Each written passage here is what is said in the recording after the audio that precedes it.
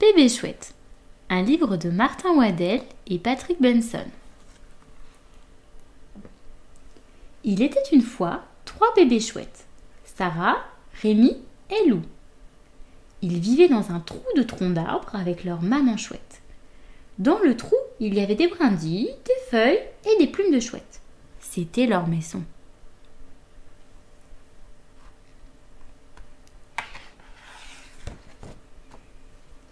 Une nuit, ils se réveillèrent et leur maman chouette était partie. Où est maman? demande Sarah. Oh mon Dieu dit Rémi. Je veux ma maman dit Lou. Les bébés chouettes se mirent à réfléchir. Toutes les chouettes réfléchissent beaucoup. Je crois qu'elle est partie chasser, dit Sarah.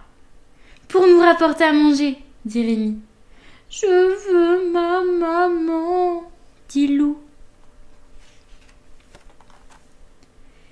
Mais leur maman chouette ne rentra pas.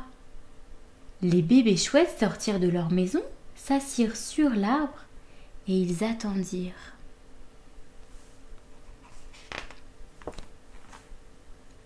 Une grande branche pour Sarah, une petite branche pour Amy et une vieille tige de lierre pour Lou. Elle va rentrer, dit Sarah. Rentrez bientôt, dit Rémi. Je veux ma maman, dit Lou. Il faisait noir dans le bois, et il leur fallut du courage, parce que ça grouillait tout autour d'eux. Elle va nous rapporter des souris et d'autres bonnes choses à manger, dit Sarah. Je suppose, dit Rémi. Je veux ma maman, dit Lou. Assis, ils se mirent à réfléchir.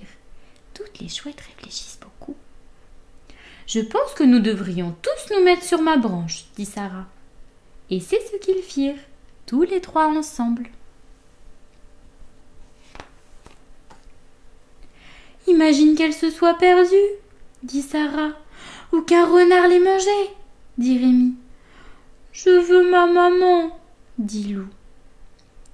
Et les bébés chouettes fermèrent leurs yeux de chouette et formèrent le vœu que leur maman chouette rentrera bientôt.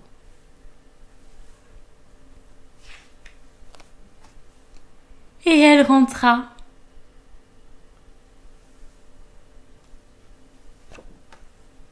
Douce et silencieuse, elle descendit à travers les arbres jusqu'à Sarah, Rémi et Lou.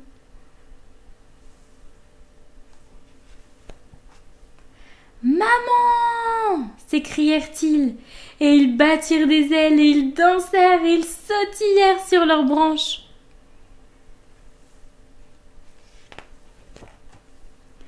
Que d'histoires dit leur maman chouette. Vous saviez bien que j'allais rentrer. Les bébés chouettes réfléchirent encore. Toutes les chouettes réfléchissent beaucoup. Je le savais, dit Sarah. Je le savais aussi, dit Rémi. J'aime ma maman, dit Lou.